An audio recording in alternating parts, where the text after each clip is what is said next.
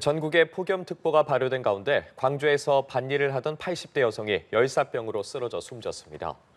광주 서부 소방서는 어제 오후 2시 51분쯤 광주 서구 금호동의 한 아파트 인근 밭에서 80대 여성 A씨가 열사병으로 쓰러져 병원으로 옮겨졌으나 끝내 숨졌다고 밝혔습니다.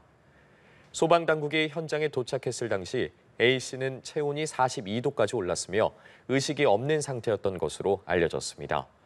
오늘까지 15일째 폭염특보가 이어지고 있는 광주는 어제 최고 체감 온도가 36.4도를 기록했습니다.